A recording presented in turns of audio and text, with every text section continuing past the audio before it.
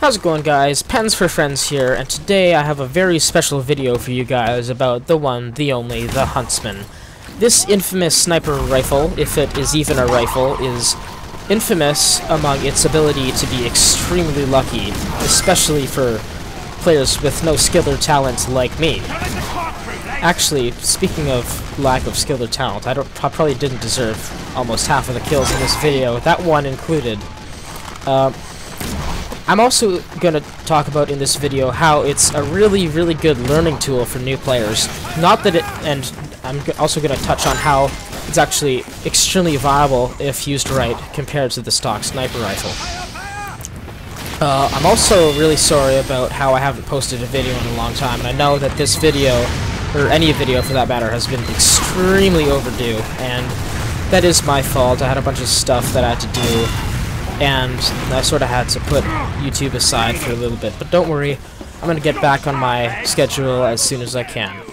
Alright, so I was just playing on Frontier here with my team, and I, have been camping this corner a lot. And, uh, mm-hmm, and with the Huntsman, it's really easy to just jump around corners and stuff, and I actually get a lot of really cheeky kills like that.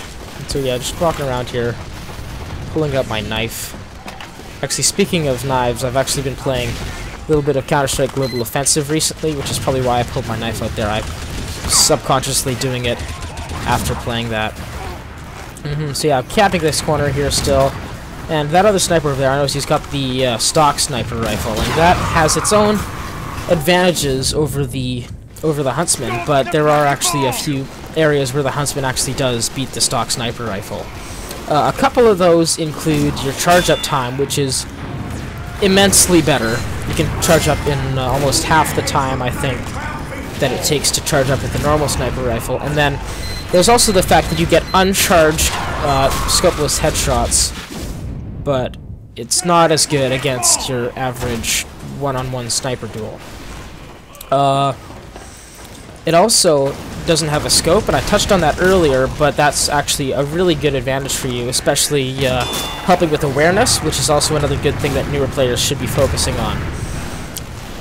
Yeah, speaking of awareness, I was camping this little uh, corner here, and this is actually a really interesting spot to play, especially as a uh, demo man or soldier, but I was playing with the sniper instead just because I was messing around and I'm just trying to get some kicks in. Obviously, a demo man up here would be basically brutal because you can't really take him out from this spot. I dropped down and I later realized that was a mistake just because there was a there was two soldiers there instead of one. But eh, whatever. Uh, so yeah, just going out this way again with my knife. Wish it was worth as much as the CS:GO ones, but anyways.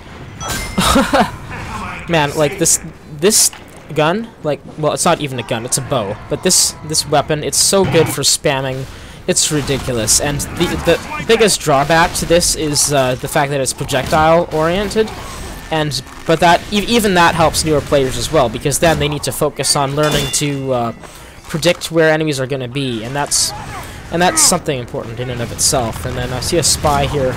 Let's do a quick check. Go over here, see if he might be by the health. Spot him up here. Uh, give him a bit of chase. He's not really... He's, he's, probably a bit of a newer spy, just judging by his cosmetics and his appearance. So yeah, I'm chopping down here, looking to uh, spam out this area here. I see a soldier, take a shot, and miss. The pyro's having some trouble air blasting, but no big deal. Alright, so I go over to this corner again, and there's always a lot of guys, like, clumped up in there. It's really quite a nasty choke point get some health from the medic here. I jump around the corner and I, I get a kill there, and I didn't. And as I talked about earlier, I didn't deserve that. I, did, I don't deserve any of these kills, really. It's, a, it's the Huntsman. You don't deserve anything.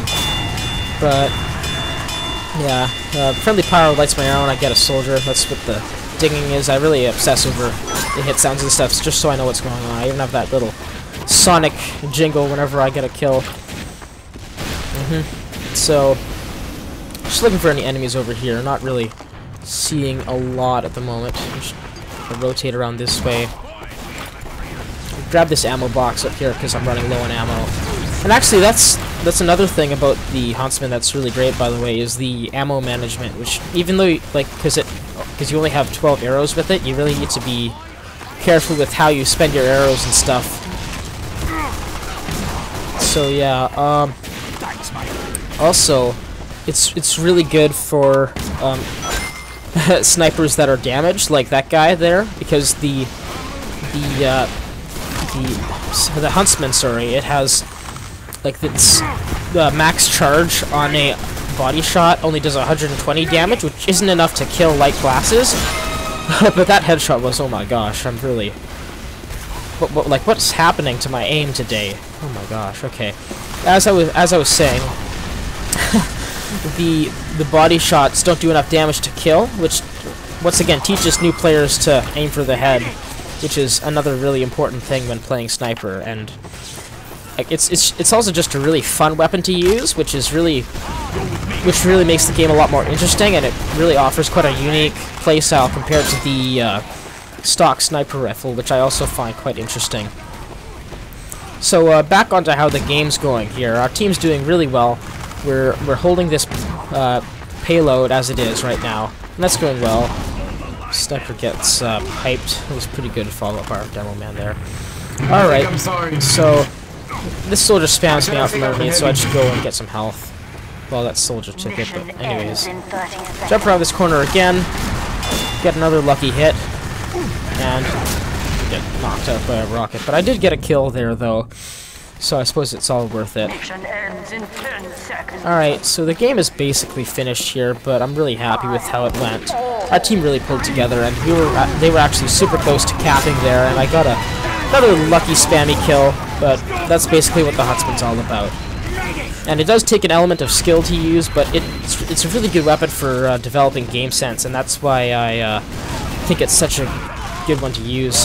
that head engineer, I've been noticing he has an unusual wrench, and I don't even know if he knows it, but Victor. eh, all good to him. All right, it was a great game, and uh, I hope I hope you guys learn a little bit about the Huntsman and why it's a good weapon for newer players. I hope you guys enjoyed this video, and I hope you guys remember to like and subscribe. Thank you so much for watching, and I promise to make more content in the future. Thank you very much.